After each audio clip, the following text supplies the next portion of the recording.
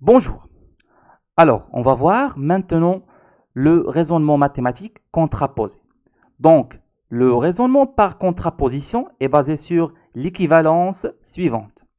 Donc, on a l'insertion, l'assertion, pardon, P euh, implique Q, c'est équivalente à non P, non Q, euh, implique non P.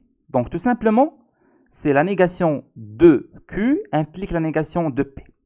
Donc, si l'on souhaite montrer l'assertion P implique Q, on montre, en effet, on fait que si, si non Q est vrai, alors non P est vrai. Alors, on va voir un exemple.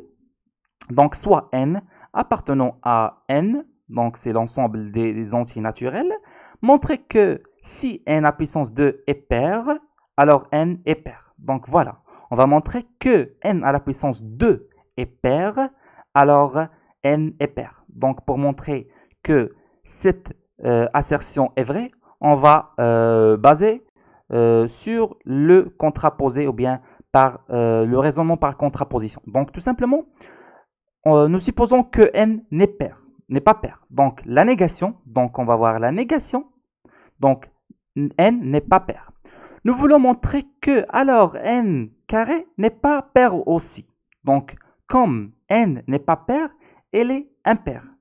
Et donc, il existe un cas appartenant à R, à n, pardon, tel que n, donc pour les nombres impairs, donc voilà, donc on écrit 2k plus 1. Alors, n au carré, tout simplement, c'est 2k plus 1 carré égale 4k carré plus, plus 4k plus 1 égale 2 alors, 2L ou bien 2K, 2 euh, grands K ou bien, ou bien 2L plus 1 avec L égale 2K puissance 2 plus 2K appartenant à N.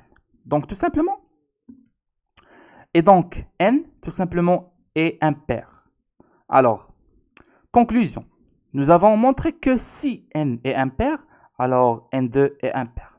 Donc, par contraposition, ceci équivalent à dire que si n puissance 2 est pair, alors n est pair.